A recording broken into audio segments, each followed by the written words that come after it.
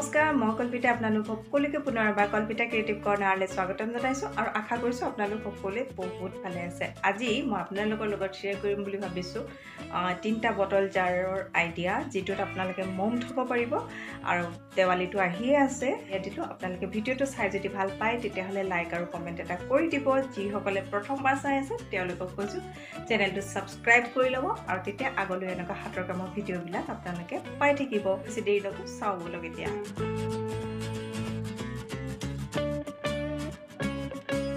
এতিয়া চাওক ফ্ৰেণ্ডছ প্ৰথম কেণ্ডেল হোল্ডাৰটোৰ কাৰণে মই লৈছোঁ এখন গ্লিটাৰ ছিট আৰু গ্লিটাৰ ছিটত মই চাৰিটা হাৰ্ট আঁকি লৈছোঁ। এই হাৰ্ট শ্বেপকেইটা মই শ্বেপত কাটি লৈছোঁ আৰু তাৰপিছত এই লাহেকৈ বটলটোত মই লগাই দিছোঁ। ইয়াত ষ্টিকাৰটোত আঠাটো নিজে নিজে থাকেই তাতে থাকে।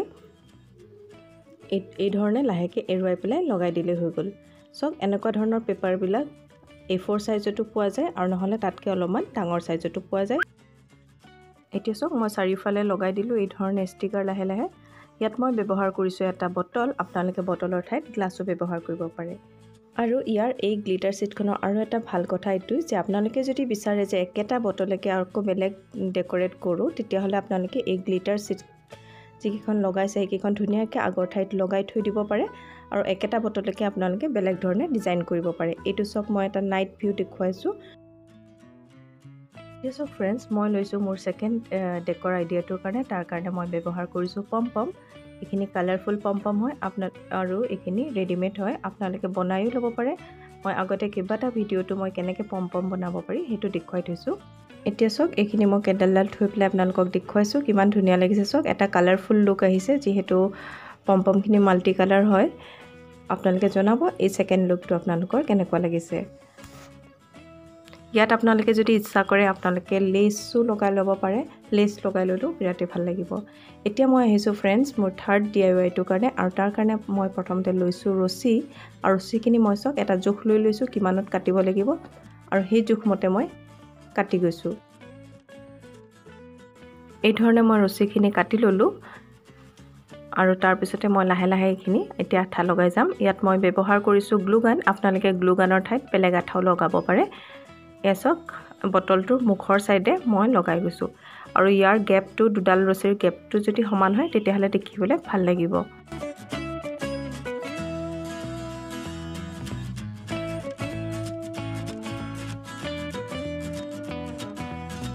এই ধৰণে চাওক ফ্ৰেণ্ডছ মই এই গোটেই ৰছীখিনি এনেকৈ লগাই গ'লোঁ।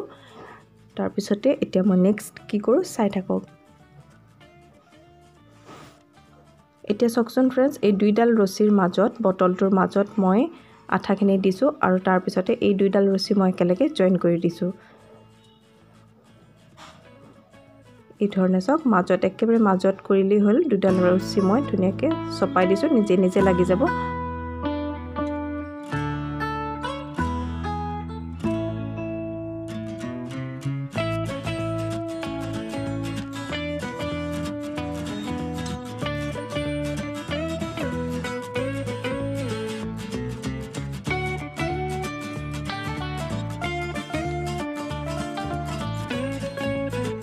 চাওক ফ্ৰেণ্ডছ মোৰ গোটেই ৰছীখিনি জইন কৰা হৈ গ'ল মাজভাগত আৰু এতিয়া মই বটলটো ওলটাই ল'লোঁ আৰু ওলটাই লোৱাৰ পিছত যিখিনি বাঢ়ি আছে ৰছী সেই ৰছীখিনি মই পিছফালে এনেকৈ লগাই দিলোঁ।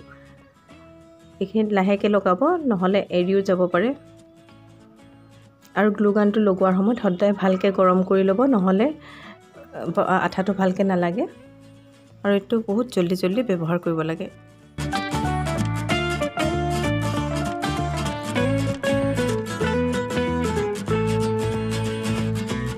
এতিয়া চাওক ফ্ৰেণ্ডছ এইখিনি মোৰ লগাই পেলাই হৈ গ'ল মাজভাগটো। এতিয়া এনেকৈও দেখিবলৈ ধুনীয়া লাগিছে কিন্তু ইয়াৰ লুকটো আৰু অলপ এনহেঞ্চ কৰিবৰ কাৰণে ইয়াত মই লগাই দিম সৰু সৰু মণি।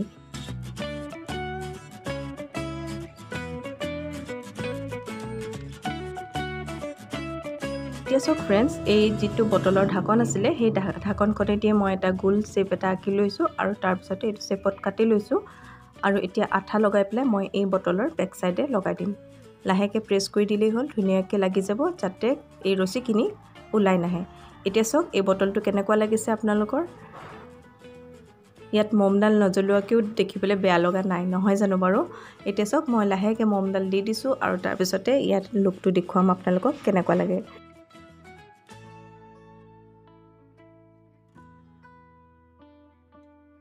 মই মোৰ জ্বলাই দিলোঁ মোৰ কেণ্ডেলডাল। এতিয়া মই আপোনালোকক ইয়াৰ লুকটো দেখুৱাই আছোঁ। চাওক ফ্ৰেণ্ডছ এইবিলাক সৰু সৰু ফাকবিলাকৰ পৰা ইমান ধুনীয়া লাগিছে দেখিবলৈ নহয় জানো?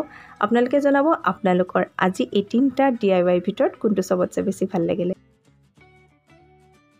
কিনাৰৰ পৰা যদি ছাইডৰ পৰা চাওঁ ইয়াৰ লুকটো এই ধৰণে হ'ব।